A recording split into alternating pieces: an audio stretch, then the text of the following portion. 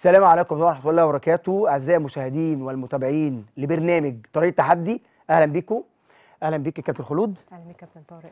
آه النهارده معانا حلقة مميزة هنتكلم طبعا عليها بس قبل ما أبدأ الفقرة أحب طبعا أشكر آه أستاذ أحمد مجدي آه يعمل في الشرطة هو أمير شرطة في مديرية أمن الجيزة.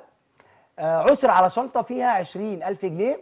طبعا الشنطة دي صاحبتها كانت عند المترو طبعا ونسيت الشنطة جنب السور فأنا طبعا بكلمكم برضو بشكل مبسط شوية. وبعد كده هو آه، افتكر ان فيها يعني عبوة ناسفة أو حاجة زي كده. طبعا هو لقى فتح الشنطة لما فتح الشنطة لقى فيها مبلغ 20000 جنيه. آه، فتح آه، لقى فيها ده الكلام ده في في ظرف. بعد كده لقى في لقى في في محفظة حوالي من 1000 ل 1000 ونص وبعد كده لقى موبايل برضه في الشنطة اتصل بصاحب ال- الشنطة راجل جه طبعا راجل بقى كان يعني من الناس اللي هم يعني غلابة يعني الناس اللي هم أنتوا عارفين اللي هم ال- الغلابة يعني. فطبعا الحمد لله لقى الشنطه وصلها لصاحبها. أنا طبعا بوجه رسالة شكر وتقدير آه للكابتن أحمد مجدي. إحنا طبعا الوقت اللي إحنا فيه يا جماعة صعب جدا اللي بيلاقي حاجة مش ما بيوصلهاش. وخصوصا برضو يعني دي حاجة كويسة آه آه، إيجابية للشرطة وأنا طبعا بديله تحية. آه، اتفضل يا كابتن خلود. النهارده يشرفنا ويسعدنا في لقائنا النهارده مع الدكتور هشام المليجي آه، صاحب أو الملقب بالأيدي الناعمة في جراحات السمنة والتجميل. وكمان مش بس في الطب ده كمان مدرب منتخب مصر في الجودو. أهلا بيك يا دكتور. أهلا وسهلا. أهلا بيك يا دكتور. أهلا وسهلا. إزاي بقى يا دكتور وفقت بين الطب الجراحة كمان مع لعبة الجودو؟ لأن الموضوع أكيد صعب. هو طبعا آه، بداية إن الواحد يوصل أصلا إن يكون طبيب ده بي بيكون البداية من الدراسة من من- المدرسة. طبعا. فطبعا آه، أصعب مراحل فترة ال- الدراسة مع الرياضة. ودي فترة طبعا بتلاقيها معظم أولياء الأمور بيحاولوا يساعدوا أولادهم إن هم يحاولوا يوفقوا بين الاثنين إن في النظام النظام بتاعنا يعني صعب جدا إن أنت توافق بين الاثنين محتاج إن أنت تستغل كل فعلا كل دقيقة. في يومك بنظام على أساس ما يجيش الرياضة على الدراسة. فطبعا إن أنت تمشي الاتنين موازي ببعض مع بعض ده صعب صعب جدا ومحتاج عمره ما بيكون شخص واحد هو اللي بيعمل كده. ده ده فريق عمل. يعني وأنا صغير والدتي ووالدي وإخواتي وأصدقائي وأنا كبير آه، آه، والدتي وأسرتي من أول زوجتي لأولادي كل دول بيشاركوا معايا في في في المعاناة دي هي هي في الآخر هي معاناة ما. شاء الله يا دكتور يعني ما شاء الله يعني كمية ميداليات تقريبا من. من قد إيه من من عمر قد إيه؟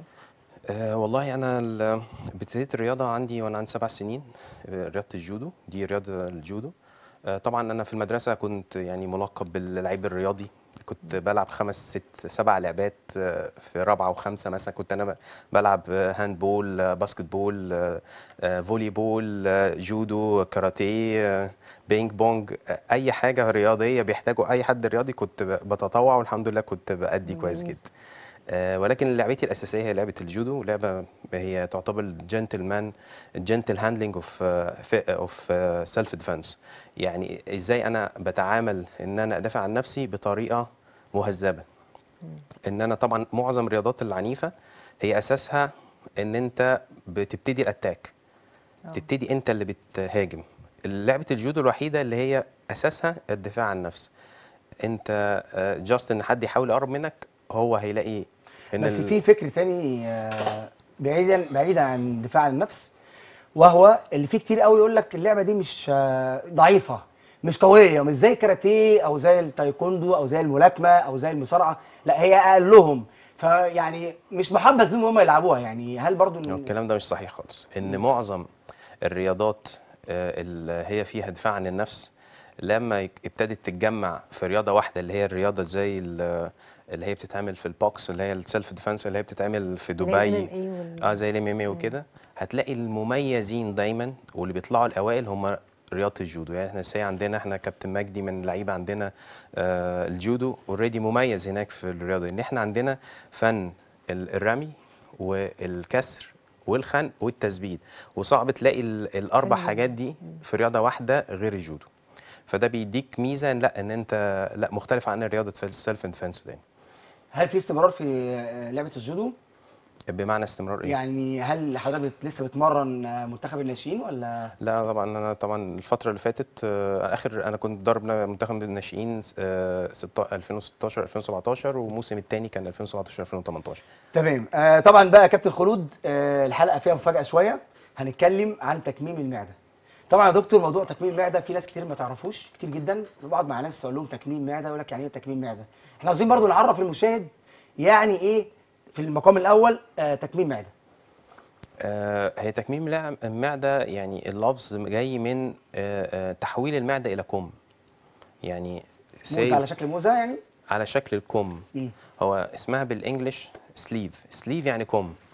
فهو بنحول المعدة بدل ما حجمها اللي هو الشكل الدائري إلى شكل ستريت شكل مستقيم زي الكم. ال- إحنا بداية الجهاز الهضمي عن طريق الفم بيوصل بعد كده المريء. المريء ده عبارة عن زي تيوب أنبوبة. بعديها بنوصل للمعدة. المعدة بنحولها بدل ما هي جزء كبير يستوعب كمية أكل كبيرة إلى جزء صغير يستوعب كمية قليلة. ففي الآخر شكل المعدة بقى شبه ال- المريء. شكل الكم شكل التيوب طب يا دكتور آه، بالنسبة لموضوع التكميم ال- يعني أنا عرفت إن هي بيتقص منها جزء ويبقى حوالي 20% من الحجم الطبيعي بتاع المعدة. طيب إزاي يبقى 20% ده الموجود والمريض أو الحالة بترجع تاني جسمها بيرجع تاني يزيد؟ هل فين الخلل في الموضوع؟ هو هو هو مش قصة خلل هو الخلل مننا إحنا. آه يعني أنا عايزة أعرف ربنا already خلقنا واحسن تقويما إحنا مشكلتنا ممكن بأخطائنا إحنا نبتدي نتخن ولما نبتدي نتخن بنحاول نرجعك تاني على الطريق المستقيم إن إحنا بدل ما نخلي معدتك كبيرة نرجعها تاني معده طفل صغير. طب أنت already غلطت وزودت وكبرت حجم معدتك وربنا خلقك الحجم المثالي. فأنت الطبيعي لما إحنا بنقلل بعد فترة لو أنت برضو أهملت في نفسك وابتديت تاخد كميات الأكل زيادة عن اللزوم الطبيعي إن المعدة هي ستريتشبل عاملة زي الاستيك يعني تبتدي تكبر تاني. 20% من حجمها حتى وهي بقت 20% بترجع تاني. بس هي ما بترجعش بنفس حجم المعدة اللي ربنا خلقها تاني. ولكن هي بتكون أقل كتير وممكن توصل 50% بس. بس في الوقت اللي هي بتوصل 50% أنت في الوقت ده ممكن وزنك يزيد. بسبب آه، بسبب ال- حاجات هرمونية بتحصل جوه الجسم ربنا بيعمل ادابتيشن بيعمل آه إعادة تنسيق للجسم. أنت حجم معدتك بقى صغيرة وغير مناسبة إن حياتك تعيش بطريقة مست- مستقيمة. ففي هرمونات في الجسم بتاعة ال- آه، الامتصاص الأكل بتزيد. فلما بتزيد بقى كمية الأكل الصغيرة اللي زمان ما كانتش بتخنك ممكن تدخنك معانا مداخلة؟ معانا مداخلة؟ ألو؟ السلام عليكم. عليكم السلام. ازيك؟ بيك. إيه؟ الله الله بطبع عليك وبطبع على أستاذ ندى الله يخليك. كابتن خلود. عامل إيه؟ آه، كابتن خلود. عامل إيه يا أستاذ طارق؟ الله يخليك. سؤالك. أنا أنا عايزك يا دكتور آه، ازيك يا دكتور؟ أهلا وسهلا. إزيك؟ أنا بس كنت عايز أعمل عملية التكميم وبسال ليها ضرر ولا مالهاش فأنا مستني يعني عايز حضرتك تفيدني. حاضر. شكرا. شكرا يا حاضر. ماشي كابتن طارق. شكرا. آه، السؤال ده كنت هسأله لك فعلا آه، بس هو حرقه يعني. هي أي حاجة أنت هتاخد لها خطوة بدون لازمة يبقى ليها أضرار رقم واحد.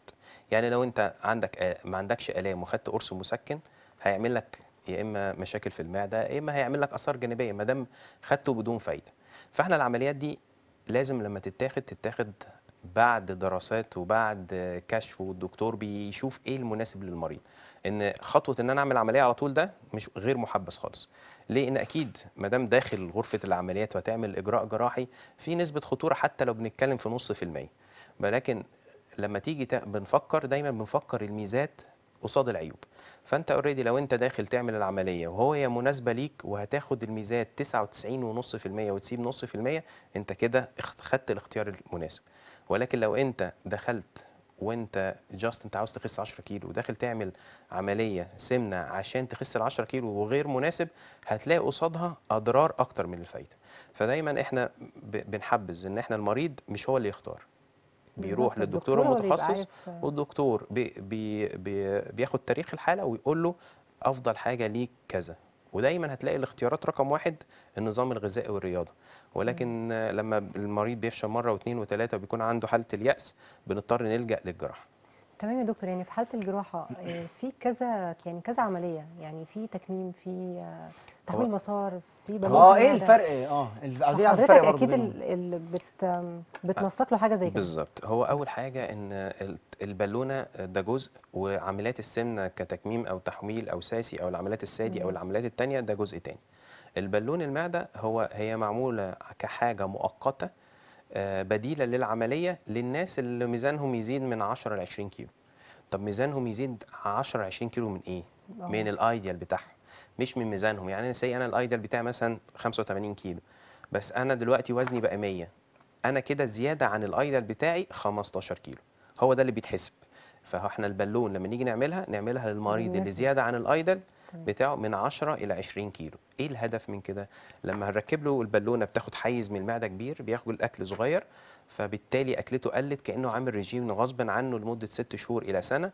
في الفترة دي بيخس له من 10 ل 20 كيلو ينزل للميزان ال ideal طب ليه إحنا بنفكر في الميزان ال ideal إن أنت لو وصلت للميزان ال ideal كل هرمونات جسمك بترجع لل stability للنظام المظبوط.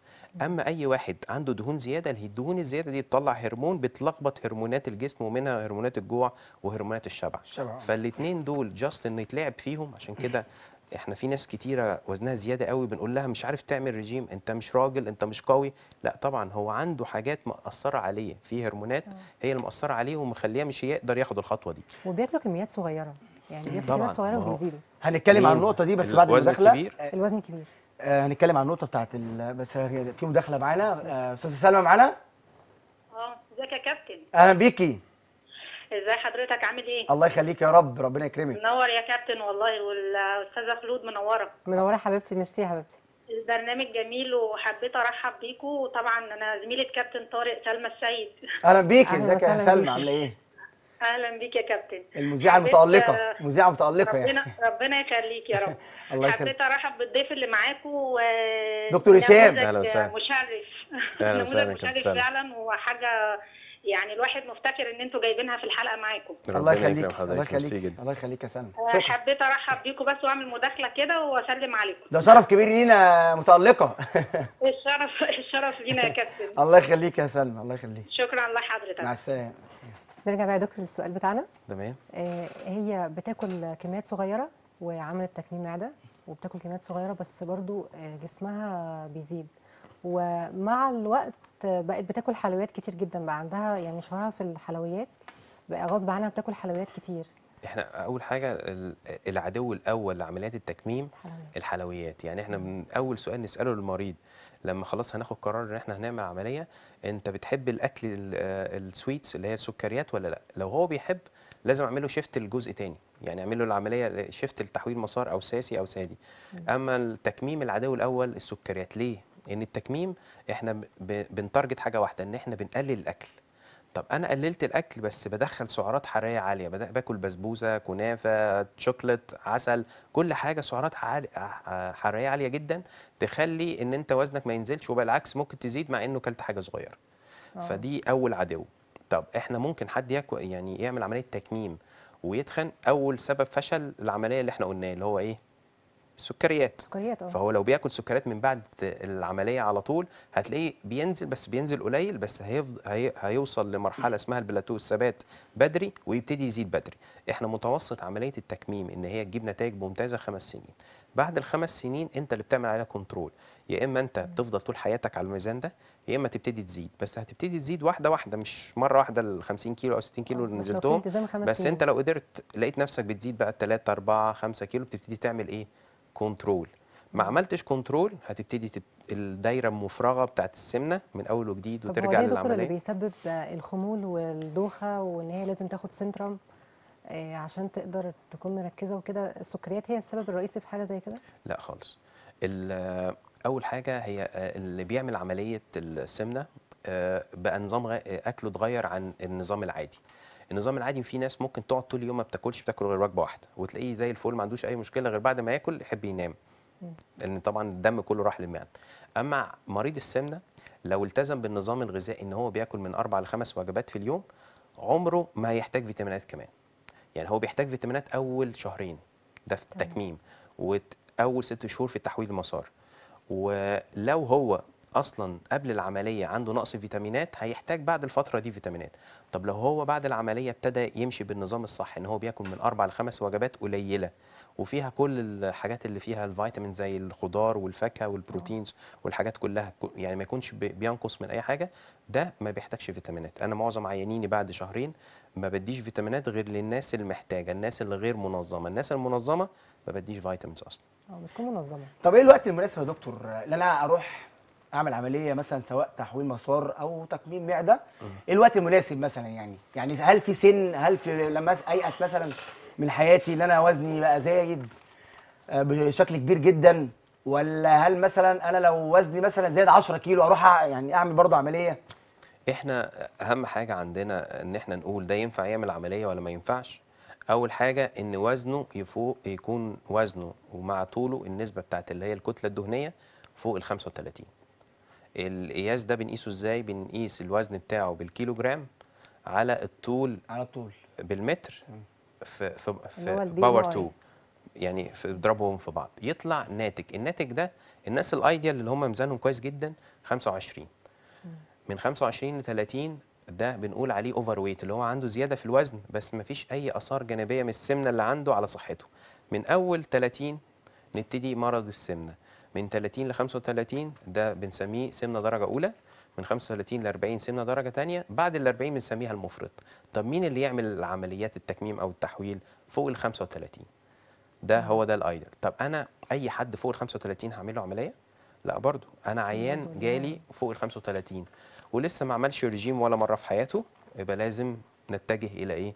الرجيم الرجيم إن ممكن في ناس كتيرة جات لي وتعاملت معاها معاملة الرجيم وخسوا 40 و50 كيلو وفضلوا حتى الآن وزنهم ثابت. خلاص هم عرفوا الطريق بتاعهم وعرفوا اتجاههم من ناحية الرياضة مع ال- الغذاء السليم وحسوا وحسوا. بالفرق فحافظوا على ده.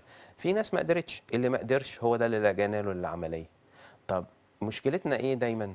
إن الناس اللي بيجي لك بعد فوات الأوان اللي بيجي لك بعد ما السمنة عملت له كل مضاعفاتها من خشونة في الركب وتغيير محتاج يغير مفاصل من ارتفاع آه. في الضغط من من ارتفاع في نسبة الكوليسترول من سكر وبياخد له علاجات قد كده من ضيق. تنفس وهو نايم ما بيعرفش ينام على ما غير على ثلاث مخدات دول بقى مشكلتهم إن إحنا بيواجهنا مشكلة في دخول العمليات إن في نسبة الخطورة بتاعت العملية بتتضاعف إن حالته الصحية أصلا غير مؤهلة انه يخش عمليات بالظبط فده طبعا بنعمل له حاجات معينة كتير عشان نخليه في ال... في الاتجاه المظبوط اللي هنعمل عمليه بالنسبة بقى نرجع معانا بس الأول كابتن خلود معلش.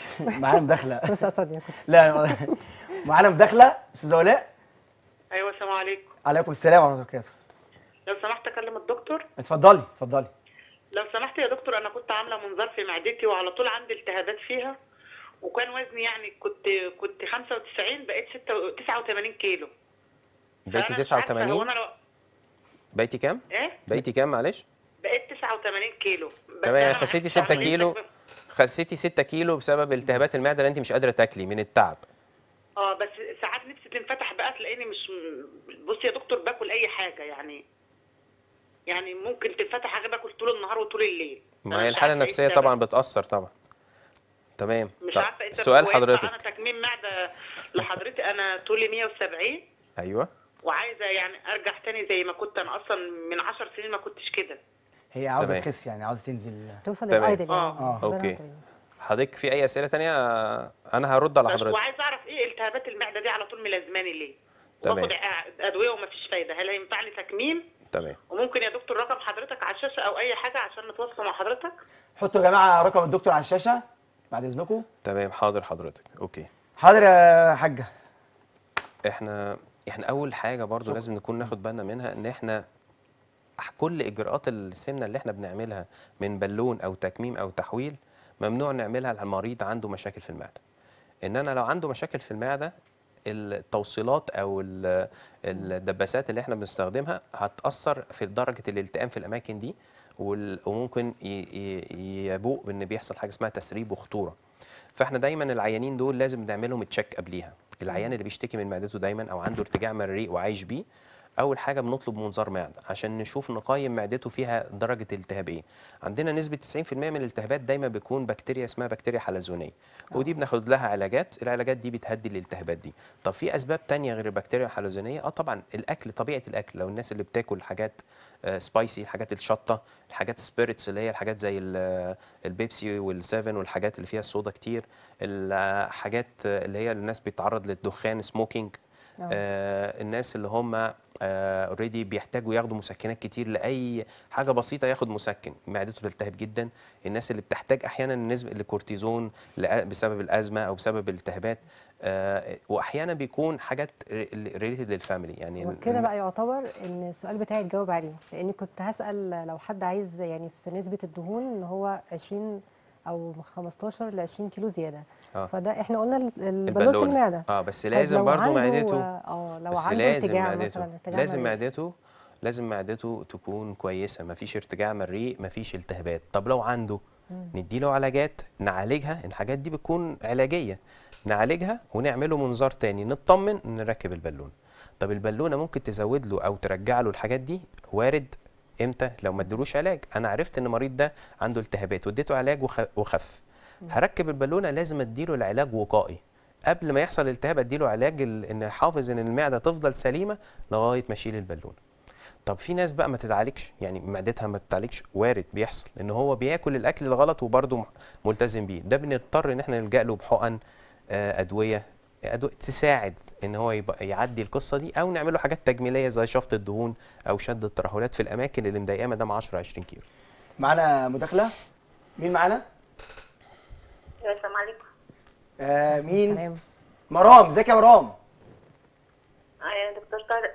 آه معاك كابتن طارق اتفضلي. أيوه. اسألي يا مرام. عايز تسألي على حاجة؟ أيوه أنا كنت عايز أسأل بس عن إن أنا سني 21 سنة والوزن وزني ضعيف جدا. الوزن ضعيف؟ ولا آه. قليل؟ ولا كتير؟ يعني قليل يعني. ضعيف يعني قليل قليل. يعني أنا عندي 21 سنة والوزن 54 53 كده يعني. وطولك قد إيه؟ طول 165 165 يعني كده يا دكتور محتاجة 10 كيلو مثلا. هي برضو إحنا لازم نكون يعني متفقين إن إحنا قصة ال ideal دي ما, بي- ما بينفعش على كل الناس. يعني في ناس إحنا ممكن الرجالة ال ideal دي ما يكونش مناسب ليها. أنا عندهم نسبة عضلات كبيرة فتلاقي لو, لو هو عنده نسبة عضلات كبيرة تلاقي إن ميزانه المناسب ما يكونش ال 25 اللي هو الكتلة على 25 لا تلاقيه الأنسب 28 على العكس إن ممكن تلاقي في سيدات ما عندهاش عضلات وده بنسبة كبيرة وتلاقي الأنسب ليها كشكلا إن يكون الكتلة الدهنية بتاعتها قريب من النحافة. يعني 23 22 هل دي لازم أقول لها اديكي حاجات واوصلك ل 25 أو ده هقول له لا قلل من العضله يوصل 25 لا طبعا. هو نسبة ال ideal دي دايما بيكون range يعني مفيش حاجة اسمها هي كده. هي اللي, بتتكلم كان من صوتها إن هي متضايقة إن وزنها ده جزء. تاني بقى. هي بقى آه. متضايقة. في ناس تانية هتكون زيها بالظبط بس مش متضايقة. فلو هي متضايقة بنعمل لها آه تحاليل نطمن إن ما عندهاش خلل في هرمون الغدة الدرقية. أو بنطمن إن إحنا بنعمل لها تحليل لل- للبراز نطمن إن ما فيش فطريات أو بكتيريا أو أو عسر هضم ونديها العلاج المناسب لتظبيط الكلام ده بجانب إن إحنا بنديها حاجات مقوية وحاجات ترفع من وزنها شوية. دكتور هشام طبعا للأسف الفقرة خلصت. ربنا يخليك. إحنا طبعا محتاجينك معانا في حلقات كتير. تحت مواضيع ما خلصتش. كان نفسي أسألك والله بجد يعني أسئلة كان عندي أسئلة كتير جدا تخص الصفحة يعني. فان شاء الله نعوضها الحلقة الجاية بإذن الله. إن شاء الله شكرا الله. آه، دكتور هشام. شكرا دكتور. شكرا خلود. أعزائي المشاهدين إلى اللقاء.